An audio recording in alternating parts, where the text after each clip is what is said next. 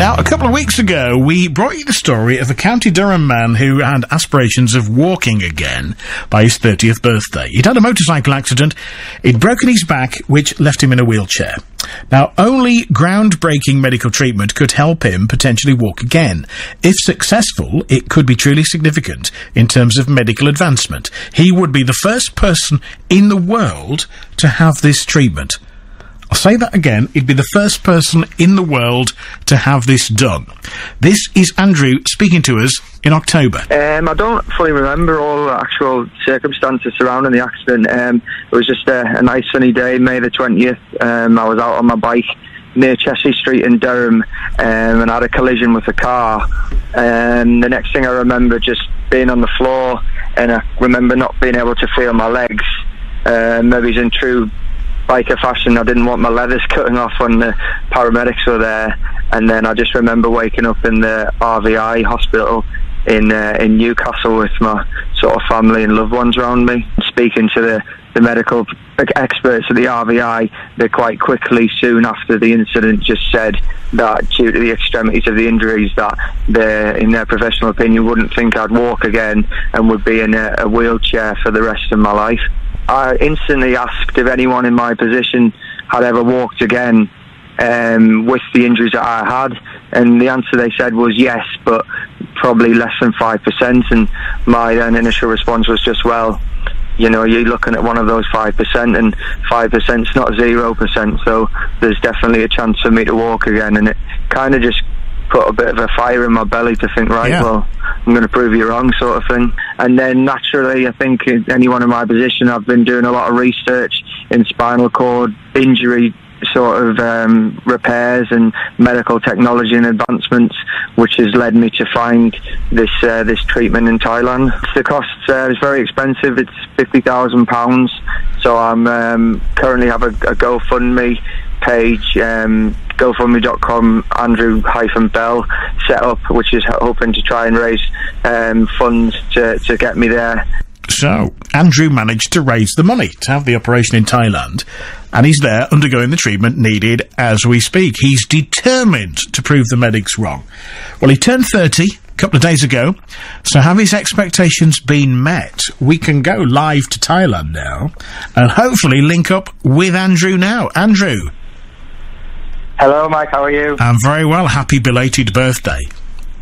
Thank you very much, and thanks for having me again. You know, you're welcome. It's a pleasure to talk to you. So, um, what has happened since we last spoke?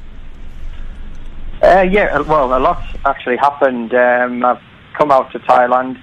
I just say I was very fortunate that my uh, parents managed to sort of secure the money at the short-term basis, having spoken to you, and I've managed to come here and uh, start the uh, the treatment, which uh, to be honest, has just gone from strength to strength. Um, I had my procedure for the, the operation on the 17th of uh, November, and ever since then, the the sort of rehab and the recovery has gone as well as it could have possibly possibly gone.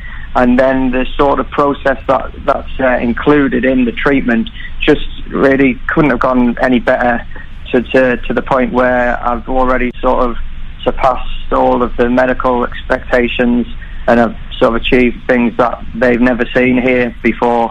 Um, so we're sort of creating new groundbreaking milestones uh, on, a, on a daily basis, really. So for, for, for, me and my family and friends, it's uh, it's it's just been very surreal. But just just to be clear about this, Andrew, this is you're the first person in the world then to have this treatment. No, well, I'm the first person in the world to have it so soon after their accident. Um, I think it's it's normally you're told to sort of allow two years after any accident, in my sort of case, to allow all of any swelling and injury to sort of settle down. But my accident was only five and a half months after uh, coming here to, to do the treatment. Uh, so I was the first person to, to not wait the two year period, so to speak. Uh, but it seems to have uh, held me in good stead because my legs are, are a lot stronger, my body's a lot stronger, and it's taken to the to the treatment a lot better. So um, it was a bit of a, a, a, risk, but more of a calculated one. Right. Um, and, it, and, it, certainly paid dividends. So, what have they actually done, Andrew, and, and why does it cost so much? Um, they've inserted something called an epidural stimulator into my spinal cord.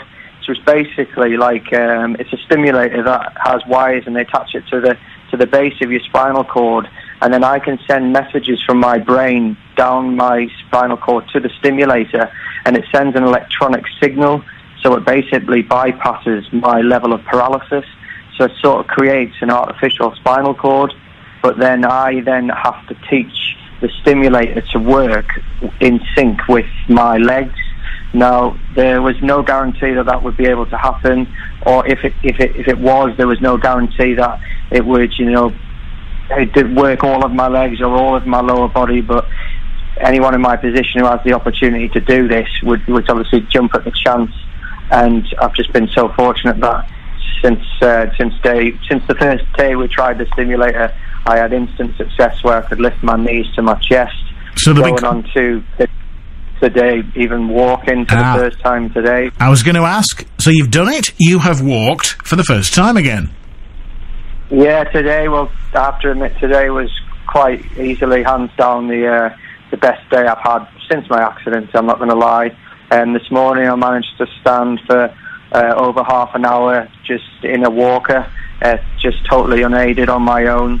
Um, and then this afternoon, for the first time, we tried walking in the walker, um, just with a sling as a precaution. But um, yeah, so I've made my my first steps um, there's still a long, long way to go, but um, if you told me that I was able to do that uh, while I was still here, um, I wouldn't have probably believed you because the plan was to come here and do the treatment and then with a lot of physiotherapy at home, hopefully walk within potentially sort of six months.